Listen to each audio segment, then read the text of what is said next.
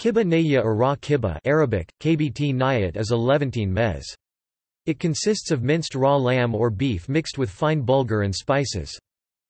Kibbeh nayyeh is often served with mint leaves, olive oil, and green onions. Pita bread is used to scoop it.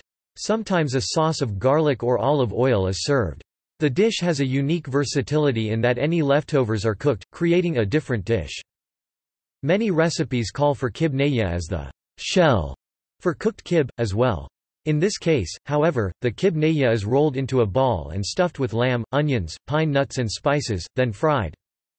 As in other dishes based on raw meat, health departments urge to exercise extreme caution when preparing and eating this kind of food.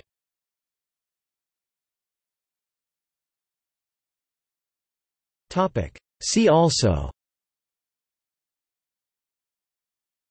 Kibbeh Çiğ köfte, a similar dish. Kitfo, a similar dish. List of beef dishes. List of lamb dishes. List of meat dishes